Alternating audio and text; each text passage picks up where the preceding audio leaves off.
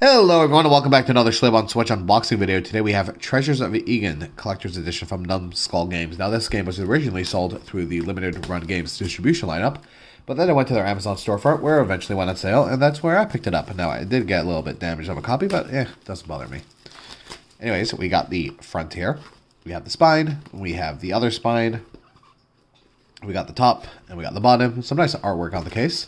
And here we have the back.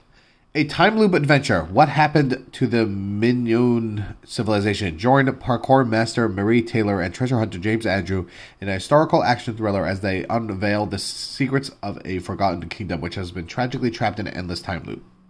Discover hundreds of treasures, puzzle solving, and parkour. Collector edition includes our book with comic, a cloth map, and original soundtrack. Item previews not to scale. And we got all the info on the bottom there with the barcode. Anyways, let's open this up. So a little ripping on the top there.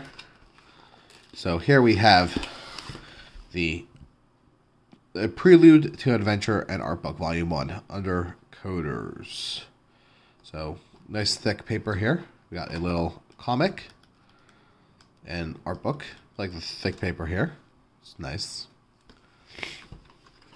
And here we have the cloth map, which we're actually just going to leave in the plastic since I don't really want to unfold it. But yeah, that's the cloth map. We have the game, which we'll look at in a minute. Then we have the soundtrack, original soundtrack, with the track list on the back. It's in a paper sleeve. And we have the disc over here. Anyways, now let's check out the actual game.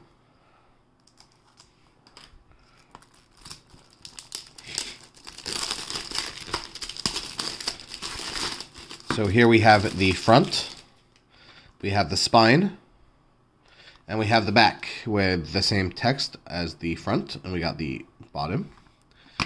Inside we have some nice inner artwork, and we have the cartridge front and the code on the back. And let's pop it into the switch where we have the icon for the game over here. We have version 1.0.1 on the cart.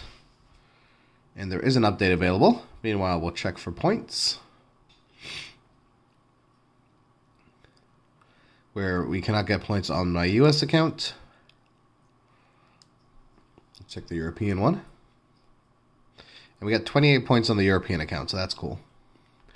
Anyways, the download for this game update is 300.5 megabytes, so not too big. Anyways, yeah, so that is the Treasures of Aegean. Let me know in the comments if you have this collector edition, or if you just got the standard, or if you played this game, let me know what you think of it. And yeah, anyways, thank you so much for watching this video. As always, if you like this video, like, comment, subscribe, share, etc. Have a great day. Thank you. Bye.